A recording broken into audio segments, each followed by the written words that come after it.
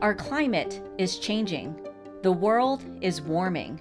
Sea levels are rising faster than ever, and extreme weather is becoming more frequent and more intense. The science is clear human actions are to blame. Climate change is the defining crisis of our time.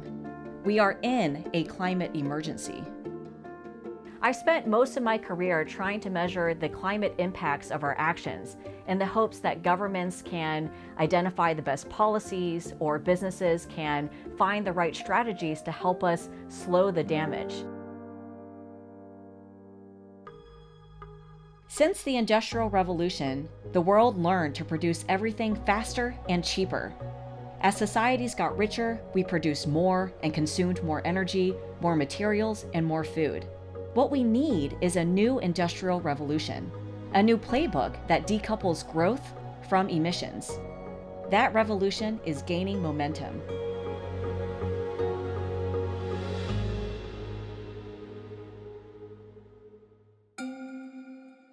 Food.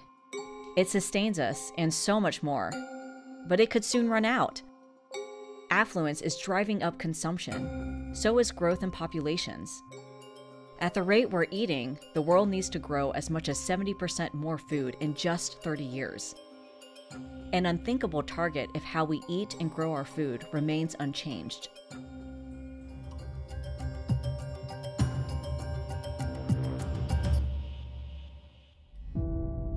This is agriculture as we know it today a land, water, and energy intensive industry. Also well known is its greenhouse gas emissions. Forests are nature's carbon sinks, and when that's cleared for farming, more carbon is released to the atmosphere. Modern agriculture also involves machinery, which burn fuel, and there's fertilizers, which also have a carbon footprint. And since farms are located far away from cities, the food miles also drive up carbon emissions. Even before it reaches our plates, food would have already released 10% of all greenhouse gas emissions globally. Vertical farms grow fruits and vegetables much more efficiently. This is a Bowery farm. It's 100 times more productive per square foot than a traditional farm. It's also packed with technology that controls every aspect of the farm's environment. Our system can say, based on what we see and what we know, but also what we expect, what tweaks and changes to the environment around this specific crop do we want to make, and then those changes get pushed out and automatically adjusted. So you have this powerful recursive learning loop that's iterating, testing, watching, iterating, testing, watching at a very large scale, which is helping to drive not only increases in yields, but really exciting, fun, vibrant taste and flavors in the crops that we grow themselves. Because conditions are so carefully controlled, Bowery grows a diverse variety of crops, that includes many that are just too fragile for traditional farms and long distribution journeys. The farm is just outside the city, so distribution is cheaper and faster, and produce fresher when it reaches the stores. We think about sustainability as being multidimensional. So it's of course the component of resources, but it's also economic sustainability and commercial sustainability. And so we think a lot about how do we make sure that we can democratize access to high quality fresh produce. Everybody should be able to try great flavorful produce all the time. While Bowery makes farms more efficient, Unfold selects and develops seeds that are more productive for vertical farming. There's been a lot of investment in this sector, but it's really been focused on the infrastructure of the farm. Really amazing state-of-the-art facilities to grow the crops. What was missing was the genetics or the seed that really is optimized to be grown under those conditions. Unfold works on seed genetics and digital solutions to offer new seed varieties for fruits and vegetables. They want to help people worldwide get fresh, local, and great tasting produce. So you want to have seed that actually can respond to all that environmental control that really is optimized for production under artificial light with a, you know, the systems that control all the other environmental pieces. What are the ways you can optimize the performance of that seed so that they can overcome those challenges and provide not just a product that works for them, but a product that really delivers at the consumer level the kind of quality that the consumer is looking for. Another type of farming is headed for a reboot. Livestock makes up half of global methane emissions. Methane is a greenhouse gas and it's 26 times more potent than CO2. But new technologies in our midst are making us rethink what we know of meat. The Impossible Burger. It's claimed to taste exactly like meat, but it's made from plants. It even bleeds like a medium rare burger. The protein packing burger is made from soy and potatoes, and the fats come from coconut and sunflower oils. There's also a mix of flavor ingredients along with heme, which provides the look, feel, and taste of meat. Heme's not only responsible for the flavor of meat, it's also a basic building block of life on Earth. And it's, it's present in every cell, whether it's an animal or a plant. It just happens to be more abundant in animal cells. And so what our scientists discovered is you could also get that from plants. We started by extracting heme from the root nodules of soybeans, and that's why our heme is called soy leghemoglobin. So we then adapted to do a fermentation process, which is the same process used for Belgian beer or for making cheeses. Um, and so we use that process. It's much more scalable, and essentially you're growing that same heme, the same heme that's found in the roots of soy, uh, but you're growing it in yeast. Um, and and then that makes it much more efficient, much more scalable, and so we're able to provide that ingredient into our product at a low cost. Impossible is sold as meatless alternatives in restaurants and supermarkets in the US, Hong Kong, and Singapore. In the US, the plant based meat market, including Impossible and others, is worth 1.4 billion US dollars, making up 2.7% of all US retail packaged meat sales. Impossible says 9 out of 10 of its customers are traditional meat eaters. Meat made from Impossible versus meat made from a cow uses 87% less water, 96% less land, 89% less carbon emissions, and contributes 92% less water pollution.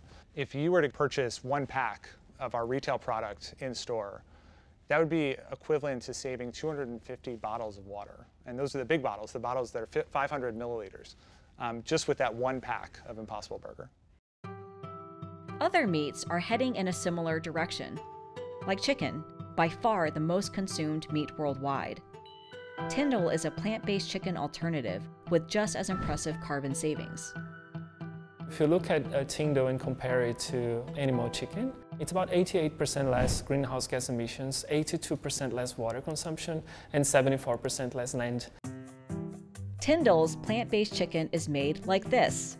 There are nine ingredients that go into it water, soy, wheat gluten, wheat starch, sunflower oil, natural flavoring, coconut oil, methyl cellulose, and oat fiber. The sunflower oil and natural flavoring are what makes Lipi, a proprietary emulsion. Lipi gives TiNDLE the aroma, taste, and cookability of chicken. Put in a simple way, it's chicken fat made entirely out of plants. It's an emulsion uh, made with natural ingredients, entirely from plants, that recreates all the experience you would expect from chicken fat. All of it will come inside the fibers before the product is created.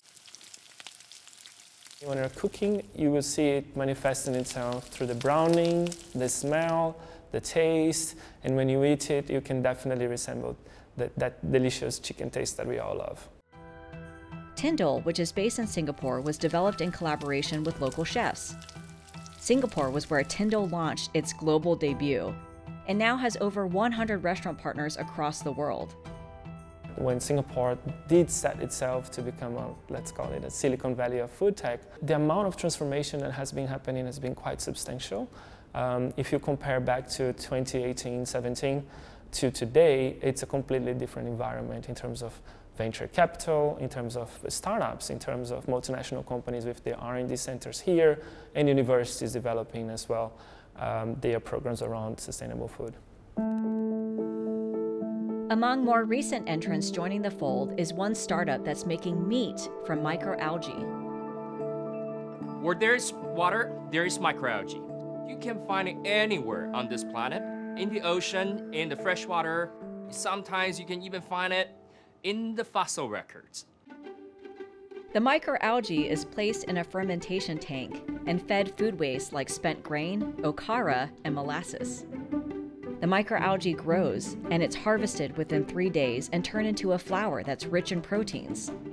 Different strains of microalgae, also the way it's grown or fed, could determine different food flavors resembling different foods. The company plans to work with plant based protein producers to replace soy and other flours. Flour from microalgae grows faster and uses fewer resources. It will also be a lot more sustainable when you trying to produce it. And not only that, don't forget, microalgae has all the essential amino acids needed by the human being. It even has all the vitamin B group. So nutrition-wise, it will possibly be even better than all the protein flour that we're using so widely today. Plant based meat alternatives are one thing, but how about making meat without animals? Upside Foods, based in California, grows real meat from stem cells in a process that is similar to fermentation.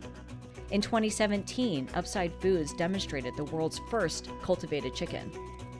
We take high quality animal cells from cows and pigs and chickens, and we find the cells that can continue to grow and double and double and double just as they would inside an animal.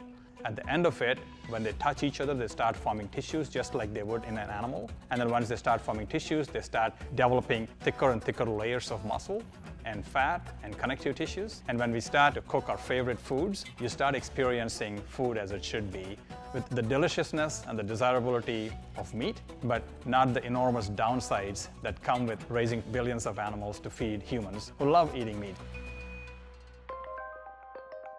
Traditional meat and dairy industries using livestock farming account for 14.5% of total man made emissions. That's 7.1 gigatons of greenhouse gases annually. At scale, Upside expects its cultivated meat production to emit significantly fewer greenhouse gases. Independent researchers project cuts in emissions by as much as 90%. When we talk about first principles, cultivated meat takes animal cells and grows them directly into meat, whereas an animal has to do a lot more. In addition to growing meat on it, it has to run around, heal broken bones, have babies. So it uses a lot of calories for things that are not going into making meat. So at a very simple level, with cultivated meat, all the calories we feed our animal cells are being used to make meat. So therefore, by a very vast margin, cultivated meat is going to be much more efficient in the world to produce meat with less resources. Another Singaporean startup disrupts livestock agriculture in a different way. Turtle Tree makes milk in a lab. The process also involves stem cells, in this case from freshly expressed milk. Stem cells are grown in a bioreactor.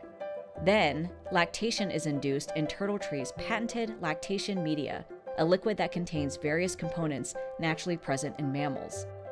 The process yields milk components, and these could be used to produce various dairy products.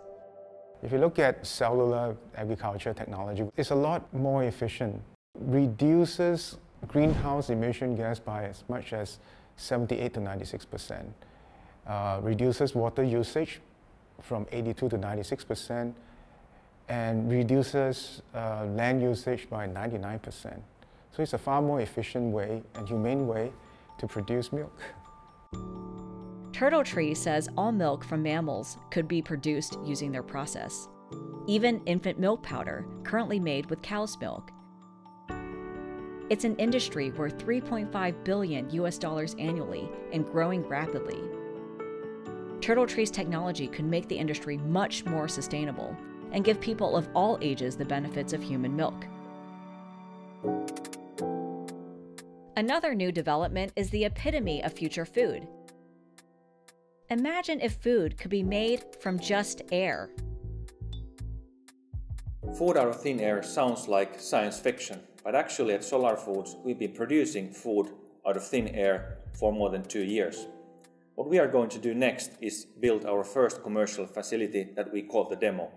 It's supposed to be operating in the beginning of 2023. And after that, we scale it to an industrial scale. The company makes what they call Solein, a protein that's produced with materials that are abundant in nature and a process that could even be carbon negative. That's because land now used for agriculture could be returned, so performing their original role as carbon sinks. It starts with a microorganism cultivated in a fermenter. No sugars or other agricultural agents are used to aid fermentation. Water from air is split by renewable electricity into hydrogen and oxygen. The cells are fed CO2, hydrogen, and mineral nutrients. Enough CO2 for the process could be captured from the air in an occupied room. The fermentation process results in a protein powder, which could replace agricultural products like soy and peas used in making plant based proteins. We can go literally to produce this food in the middle of desert. And it doesn't end there. We can go in urban settings because every one of us breathe about one kilogram of carbon dioxide out every day. We can capture, even from the ventilation of buildings, carbon dioxide that we breathe out, capture that and put it back into food in urban settings. Therefore, we can bring food production very close uh, to, to very urban uh, settings and uh, within megacities of future. An agricultural revolution is underway, turning what was once science fiction into reality. Bold new technologies are reducing the environmental impact of food production. It's now up to consumers everywhere to make the switch to more sustainably grown foods, an opportunity for everyone to be a climate trailblazer.